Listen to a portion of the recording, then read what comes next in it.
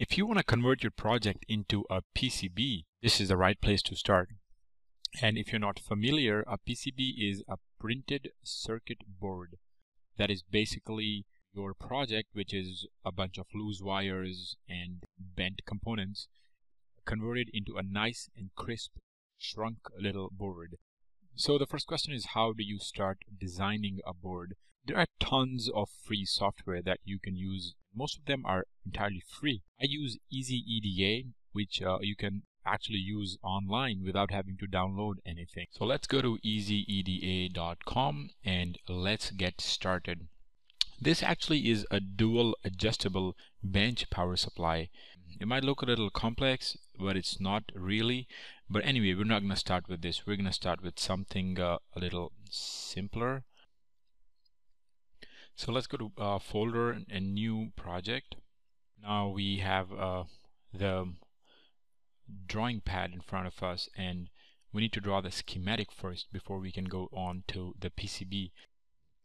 But before we start designing, we have to understand what we are uh, trying to achieve. So uh, if you had seen my video on flex sensors, I actually use a flex sensor as a trigger for an LED. So whenever I flex my hand, the LED would light up. And uh, there is an Arduino Nano here that uh, does the processing. And obviously we can't shove the whole thing here in the uh, in the center of our Iron Man hand because it's just too big there is no space so we want um, a small PCB to which we can mount the LEDs and solder them and then we can just have one little PCB stuck here on the inside so uh, how we're going to do is um, there is an Arduino Nano. In the center there's three LEDs and there's a flex sensor.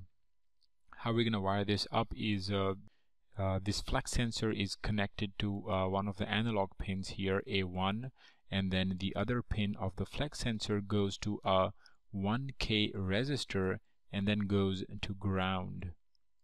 And the way these LEDs are connected is um, uh, each um, LED has a resistor 1k and they all come together to a common ground and then they also go to the ground here and the positives of the LED are connected to um, Arduino digital pins 10, 11 and 12. So that's the simple circuit that we want to build but we have to be careful that uh, this part is going to be inside the gauntlet here where the light is going to be. And then this part is um, probably going to be strapped onto my wrist or something because obviously this whole thing even on a P PCB won't fit inside the hand. So what we're going to do is um, instead of ordering two PCBs we're going to fit all of this on one PCB and then when I receive the PCB I'm going to cut it in the middle um, and then uh, you know uh, make this one circular and then um, just shove it inside the hand. Um, and then uh, while designing now we have to be careful that the wires in between there are four wires and we have to make headers uh, on which we can mount these wires. So if we have headers then these are two separate PCBs cut them cut it in the middle and then we can just attach them with jumper wires. So let's go ahead and dive right into uh, the design. So to draw the schematic you have to come down here to the EE library where you have all your components right? Um, and first of all let's just drop the uh, the power supply VCC and the ground. So to uh, draw any uh, to get any component you have to click on it and then just drop it. And then uh, to erase you just have to right click. So click drop now that we have our VCCs and ground we know that our circuit's um, heart is the Arduino Nano. So um, we actually don't have the nano here. So what we want to do is search it in the libraries. So to search for any components you have to go down here to the libraries. Let's see say Arduino Nano and then go to schematic libraries. Don't go to PCB libraries yet because we are still designing our schematic. Um, so in the schematic libraries you have to go under system and you will see uh, a couple of Arduino Nanos and this one is actually verified. So you want to select that. You can see the schematic here. It looks about good. Click place. All right we can place this here uh, and then right click to um, get rid of it what else do we need? We need um, a header pin where our flex sensor is going to connect. So we have to go down here to headers. These are the headers the connectors. So as you can see this is um what is it? Um, a header male 1x6 this is a header female. We need female headers but um, it actually doesn't really uh, matter so let's go ahead and uh, make it um, 1x2 because our um, flex sensor just has two um, uh, inputs to this header pin. So what we're going to do is our flex sensor is going to connect to these header pins. As we can see from our schematic uh, this header is going to connect to a 1k resistor and then go to ground. So where's our resistors? Mm, right here. This is our resistor. Let's put this here right next to where ground is. This should be good. And right click. So we need we want to rotate this so it's facing the resistor. It doesn't matter. You can you, you can go around uh, but uh, it's good to have everything. We can just go uh, flip horizontal. Okay looks much better. Yeah it's good to have everything uh, look better as well so in our schematic we um, we also need uh, uh, three LEDs we had connected three LEDs um, in our um, Ironman gauntlet.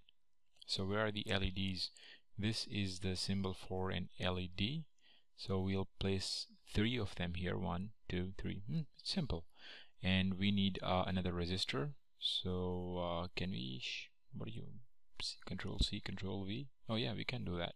So yeah control V one here control V another one here control V third one here. Okay each LED has a 1k resistor next to it.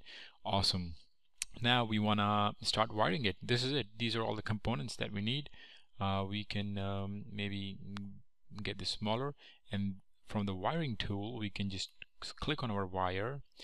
And first of all we want to connect VCC which, are, which is our power source to our um, V in which is actually on the other side. So but that's okay. And actually in this case uh, we don't need a ground because uh, our Arduino would be connected to a power source which will be externally grounded. So in this one we don't need it but just for the purpose of um, you know illustration in, in, a, in a in a different circuit design you might need to connect your ground to this. So for now let's just get rid of it. And our two headers uh, this one in our uh, circuit goes uh, straight to um, A1 A1 is actually on the other side but that's okay. Um, we can still connect it. When you see the when you see the circle that's when you click uh, and then that's when they connect. Um, if you just click without seeing the circle it's not going to connect. It's going to look like it's connected but it's not going to connect and it's going to cause all sorts of problems. So see the circle click and then let's connect the resistor to ground. Simple.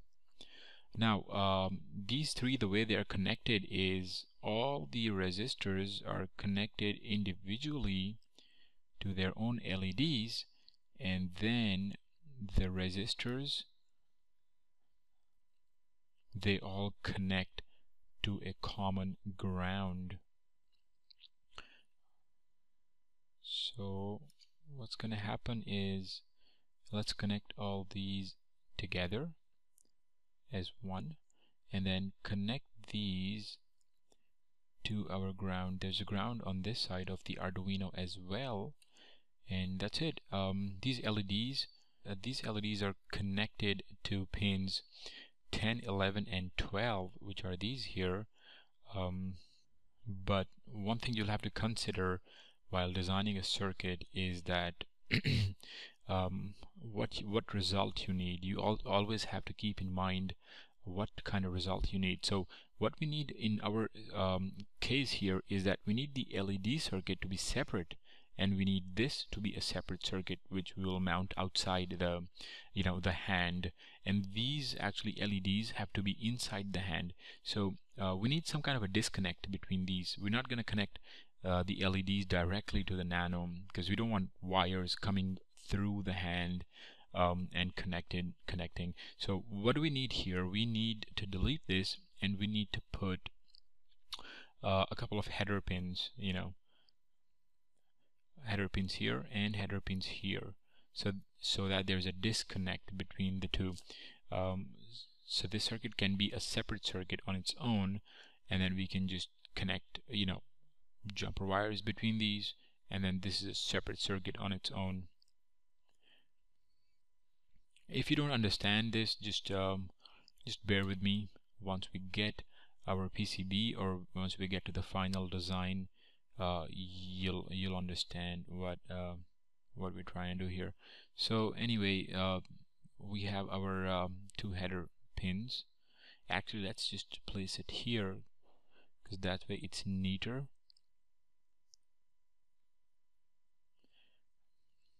and the way we want to do it is we want to connect all these LEDs to all these headers.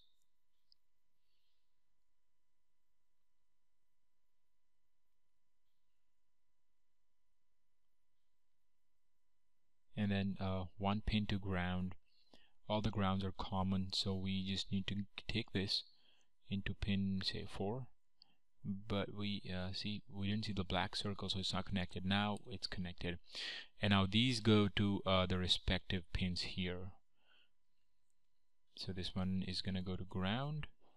We can just connect it to uh, to this ground. No problem. And then we have to connect these to 10 11 12 so let's start with 10 and it doesn't matter if your wires go all over the place in the schematic mode because um, your PCB is gonna configure it um, automatically. So just go crazy with the wires. You can no it's not yeah now it's connected. Um, so yeah just be careful when you're connecting the wires. And now number 12 goes to number 3 nice. See? That was fun so what we're gonna do is convert this now into a circuit board. Uh, so we go to this tools here and say uh, where is it? No it's not here. Oh yeah, yeah sorry. The convert tool and say convert to PCB and uh, it says please save your file before you convert it. So let's control S save it. It's saved. And now we can convert it to PCB and it is uh, all your components here on a board. This is your palette the purple rectangle and these are all your components. So you can just um, you know start dragging and dropping it uh, depending on where you want your components to be. And um, it's very uh, important to be a little imaginative at this stage because uh, hmm, what do I want? Uh, you know uh, how small do I want my PCB to be and all that? Uh, what kind of shape do I want it to be? So what we need in this case is we want um, our nano to be on one side okay? Um, I think it's better if you flip it into where's the flip tool? Oh I can't flip it. Wait. Yeah so um, no I can only rotate it. So let's rotate it to the right and move it um, you can just you know grab it and when it's gray you can move it. So let's move it to the edge and we want our LEDs and resistors. Remember we said we want these to be together? So we can put these here and then later when we have the PCB we can cut the PCB and put this in the Iron Man gauntlet and put this thing separately outside. Um, yeah and uh, these are our header pins. So perhaps we want to put our headers um, on this side and maybe um, just to save some more space we want them to be rotated. Rotate left like that. Okay? And we want our PCB to be as compact as possible. And then two header pins one for this side uh, let's rotate it left and one for this side. Oops sorry. One for this side. Let's um, bring it here and rotate it left. Okay matching. Great. Um, now we want to optimize our LEDs and resistors in uh, sort of a circular shape.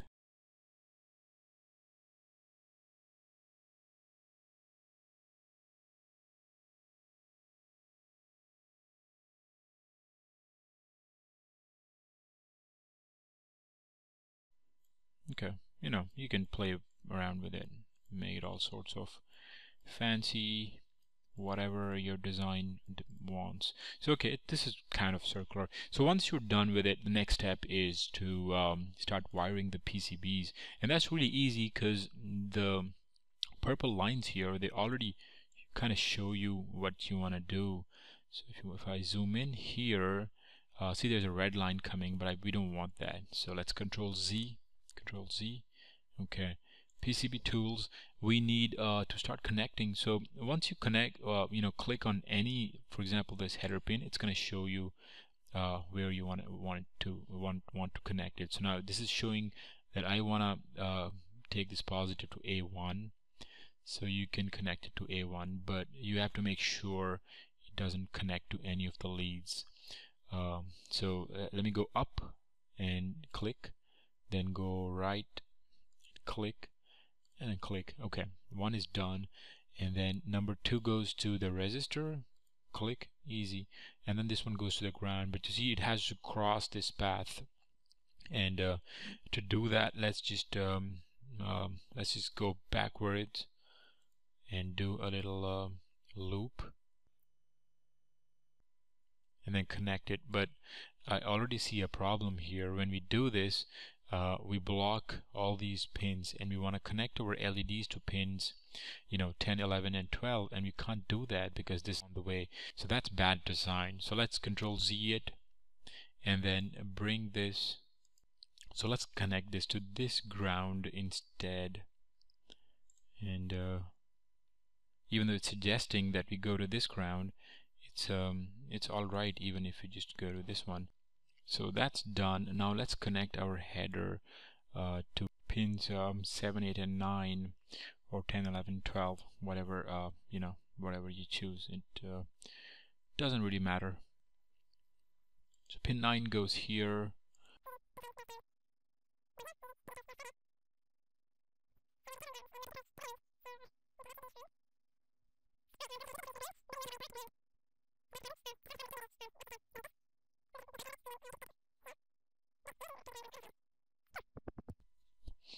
Okay, this part of the circuit is done. Now let's just quickly wire up um, the other side of the circuit.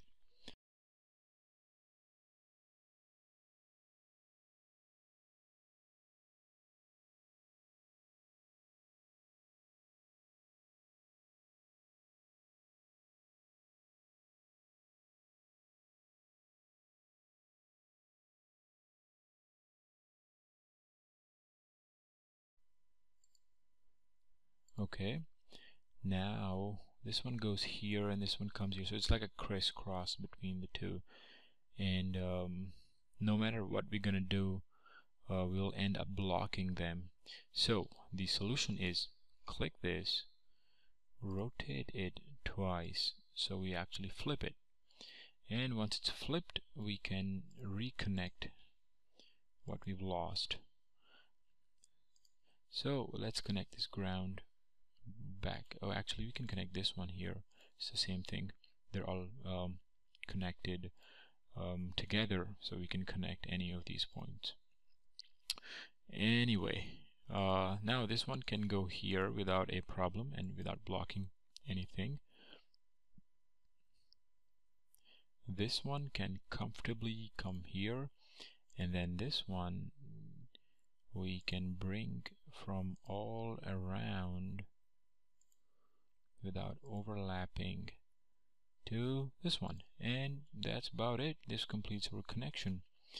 Uh, it's just showing one remaining connection but we're not going to listen to what this is saying because we've already connected this to ground here.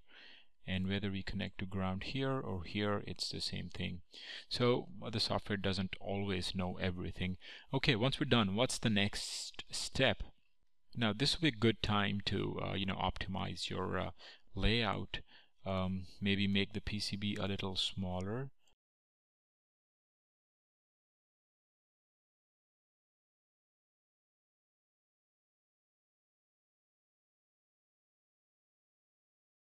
We can bring it here and that's about it. Um, we want to keep these two separate so that when I receive it finally the PCB I can cut it in the middle shove this up uh, in the uh, the gauntlet in the hand and then make this um, you know like a strap on or something okay let's go ahead and export or actually generate fabrication file or the Gerber file the Gerber file is what you send to your PCB manufacturer. Let's go ahead and do it. Please save your file. Okay, Control S, save, and generate Gerber file. Now it's going to check for uh, DRC or errors. Um, so you just go ahead and, and, it'll just say one error track to track, which means um, there is this one error it's showing, but we know that uh, this is not an error. We actually intended to use this ground instead of that ground. So um, let's go ahead ignore this error and uh, generate our Gerber file so file and um, you can order it directly from here from JLC PCB and uh, if I'd failed to mention this video is actually sponsored by JLC PCB and they promised to send me uh, some PCBs um, uh, for reviewing. So this is the file I'm going to send to them and when I receive it back I'm going to review their quality and show you guys what I got. So uh, let's get 10 PCBs because I think the cost is the same regardless of 5 or 10 PCBs. So let's get 10 PCBs. This is the standard thickness. You can choose your color. Let's choose green. Um, the finishing is HASL. Um, so that's the cool thing about JLC PCB. You can order 10 PCBs for only $2. Just click order at JLC PCB. And then it's going to go to their website. Um, give it some time to load the Gerber file. Here you can choose your layers, uh, dimensions, um, you know, all the um, parameters um, of your uh, PCB but once you uh, if you upload it directly from EasyEDA it's gonna load all the dimensions automatically so you don't have to worry about it. This is how your PCB is gonna look like from the front and from the back and it looks good to me. So what you can do is you can go ahead um, build time is two to three days and the shipping is as per your uh, country and then you can just save to cart so yeah, um, 10 of your PCBs for $2. Um, that's a good deal. But uh, let's see once I place the order and uh, once I get it in the next three to four days, I'm going to show you what it looks like. And then we're going to make our um, little PCB prototype. So thanks for watching. Hope you guys um, learned. See you next time uh, with the built PCB. Thanks for watching guys. Keep fungineering and I'll see you next time.